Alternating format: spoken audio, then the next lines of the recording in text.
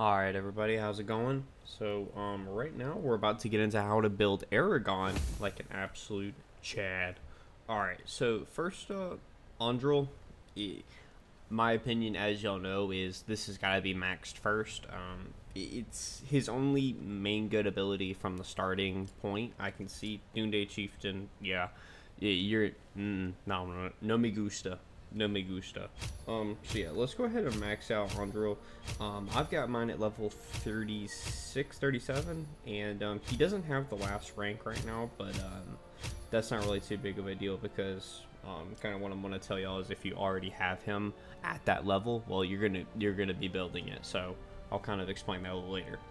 So base stats from equipment and um, hidden heir. So of these right here you mainly want to get these um, mainly to rank 3. So in order to do that, let's go right here. This is going to unlock, so we're going to do one, we're going to do one there, and then you're going to go up to, I believe, 5? You want to get these to 3.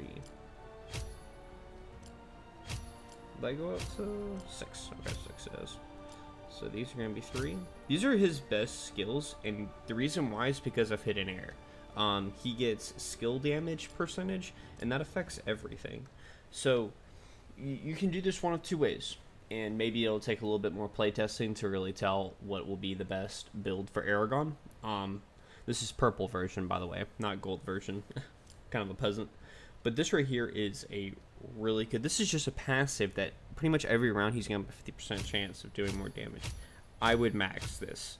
Um, the reason being is because 50% 50% chance of gaining damage 50% is pretty crazy by itself. So I would recommend maxing that.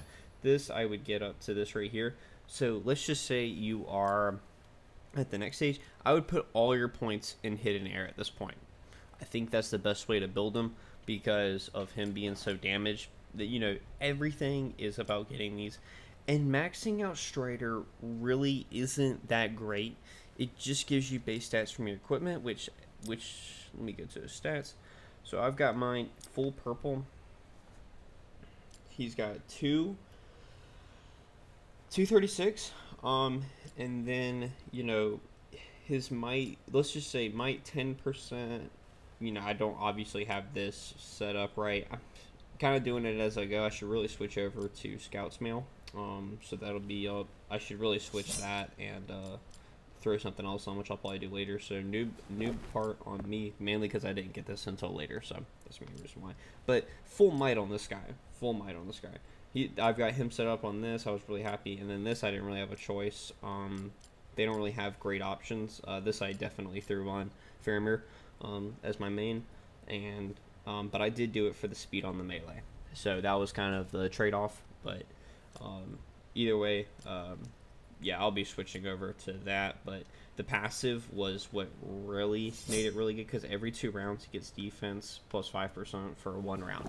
Um, that's really good. Um, I wouldn't be too serious on the effects of your armor unless it's really good. You know, then you can base a unit around it. But unless kind of because it's so random, you know, you don't really know what's going to happen. But let's go into what else you would do with these points. So, a lot of key points. What are you doing?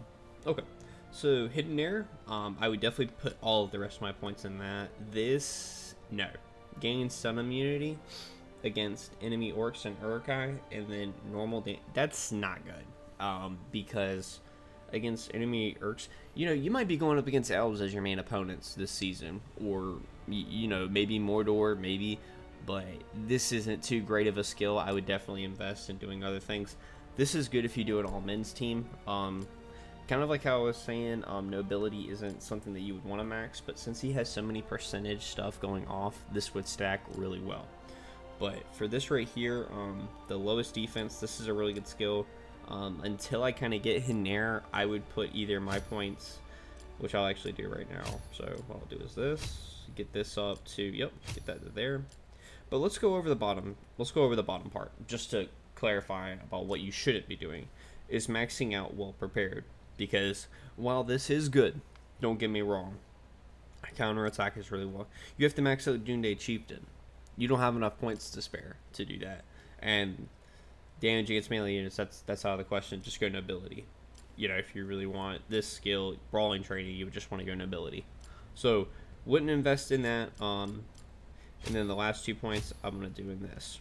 That's kind of as I see it the best way to do it, and mine is level 36 right now. So um, mid game, I would definitely focus Andúril, skip Doomday Chieftain, do not do it.